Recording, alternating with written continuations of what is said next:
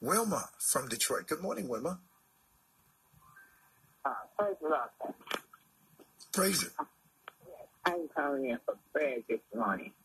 Uh, I would like for God to strengthen my legs. Uh, both of them. I had my knee surgery done about a week ago. About a week ago. And uh, I'm healing now, but I just need to be strengthened where I can walk on them. a little better. And he gives me comfort. Pray for my children. Amen. I'm asking for God to strengthen your legs right now. Yes. I rebuke the enemy. I come against the adversary that says you'll never walk again, but you will walk. You're going to walk and you're going to be very courageous and strong in the spirit. And God is blessing you right now as you heal totally up. In Jesus' name, and it is so.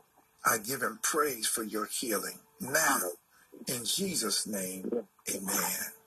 Amen. God bless you, dear heart. We give God the praise for that. The lines are open this morning. Code 313 838 1035. 313 838 1035. We'll take our next call.